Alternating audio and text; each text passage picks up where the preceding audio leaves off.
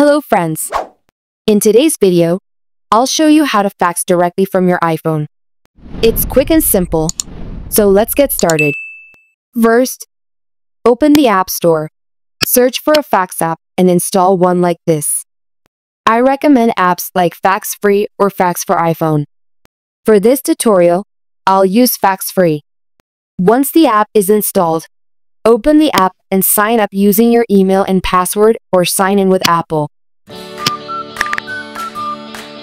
Next, add the recipient fax number, your sender name, and sender phone number.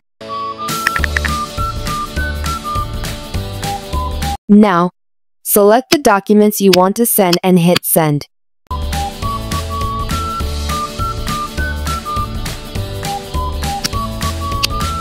To confirm, Go to the Sent Faxes section and check the status.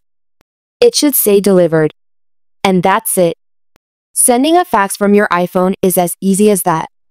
If you found this video helpful, please like, share, and subscribe to Free Tech Guide for more tech tips.